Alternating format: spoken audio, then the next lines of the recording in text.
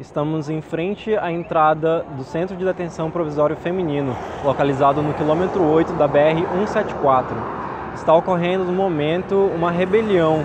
As detentas estão fazendo três agentes penitenciários de refém e também ateando fogo em vários colchões dentro da quadra de esportes da, da, do centro de detenção.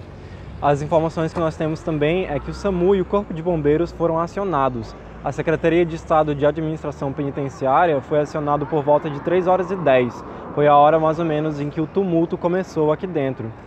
Algumas pessoas estão saindo do centro de detenção provisório masculino, que fica logo ao lado do feminino, e conseguiram ver muito tumulto, muita confusão e gritaria, muita fumaça também dentro do feminino.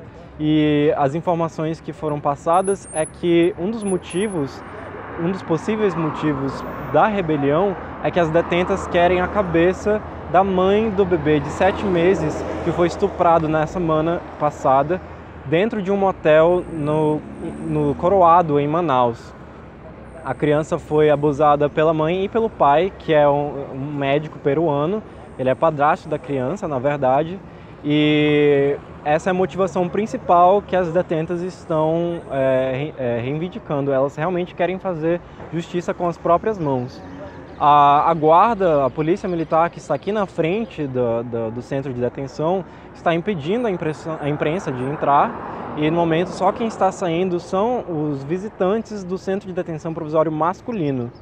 É, elas, essas pessoas informaram a gente aqui, que está aqui na frente, né, aqui na entrada, que eles conseguiram ver através das grades é, muito, é, muita fumaça preta e os colchões que estão sendo ateados.